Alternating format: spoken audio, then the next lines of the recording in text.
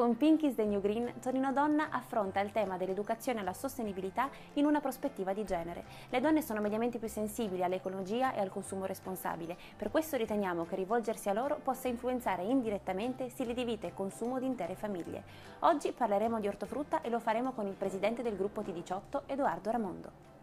In Italia in termini di controllo qualità, naturalezza dei prodotti, come si è evoluto, insomma, come si è evoluto il panorama anche solo legislativo?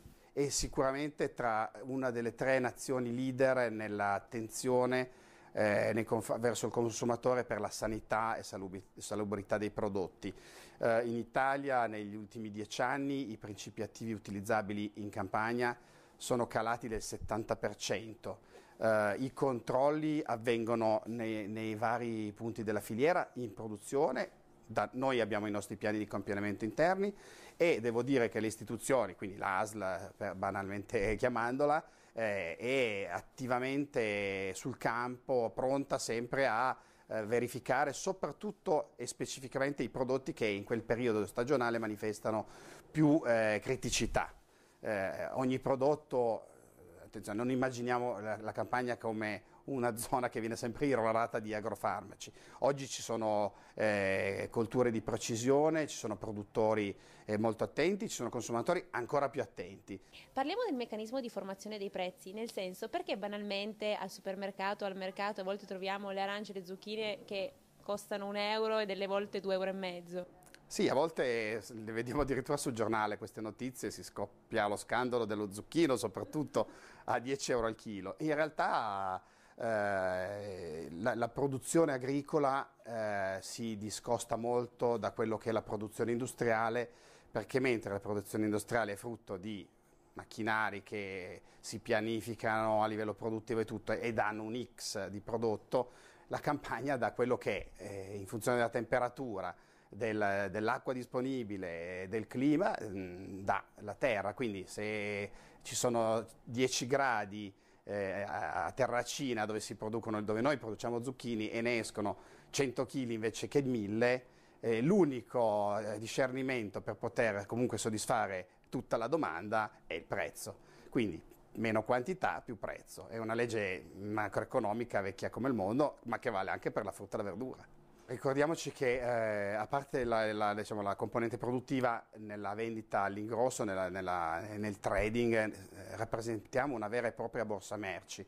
Io ho un amico caro che lavora in borsa, gli dico guarda tu in più di me hai solo una fortuna che i tuoi titoli non marciscono, però in realtà noi abbiamo lo stesso principio, l'allocazione completa della produzione vendibile di quel giorno, in funzione del quantitativo, della, della, della domanda, eh, di, di, ciò che arriva, della qualità, si forma un prezzo, che è proprio quello che deve determinare eh, la saturazione completa del prodotto venduto in funzione della, di ciò che è arrivato.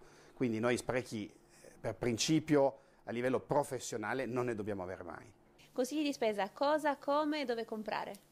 Alla cosa, eh, beh, eh, frutta e verdura sicuramente, il più possibile di stagione perché Ehm, la stagione eh, significa che eh, si dice così proprio perché in quel momento la pianta è più capace di produrre quantità, qualità, perché in quel momento climatico particolare eh, la pianta fa, fa quello. Essendoci anche tanta quantità, il prezzo è anche conveniente, quindi mangiate frutta di stagione. Eh, ricordatevi eh, di eh, però fare un minimo di attenzione a quali sono le stagioni, perché ad oggi, essendo presente quasi qualsiasi prodotto, quasi tutto l'anno, se non ci si fa un po' di cultura agricola, dove si sa che le pesche iniziano a maggio e finiscono a ottobre generalmente, le mele si raccolgono a settembre e via dicendo, si rischia di non capire più niente quando si entra in un negozio o si va al mercato. Da consumatore dico che è sempre meglio poter comprare in una maniera per la quale si possa domani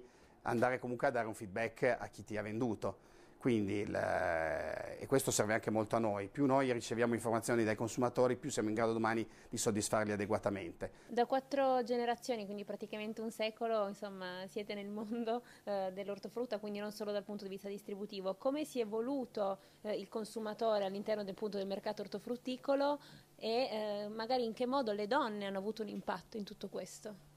È cambiato moltissimo. Io buona parte della storia della mia azienda l'ho solo sentita raccontare perché Eh, mio bisnonno non ho avuto la fortuna di conoscerlo, mio nonno sì, pur non avendolo mai visto lavorare, eh, però mi rendo conto che c'è stato uno stravolgimento incredibile, dai tempi in cui a Porta Palazzo si arrivava col carro, coi cavalli, ai, al, agli acquisti online eh, B2B. La donna, ecco, forse l'unica cosa che non è mai cambiato è il principale decision, maker nell'acquisto, che è la donna, che prima era una rappresentante d'acquisto per gruppi familiari di 5-10 persone, oggi spesso compra solo più per il fidanzato eh, o per lei stessa, eh, però è sempre lei che decide, eh, ricevendo le informazioni dei figli, dei, dei, dei compagni e, e, quello che lei già di suo naturalmente eh, utilizza come background per fare una scelta d'acquisto. Ehm, noi facciamo molta attenzione a quello che il eh, diciamo, il genere femminile richiede.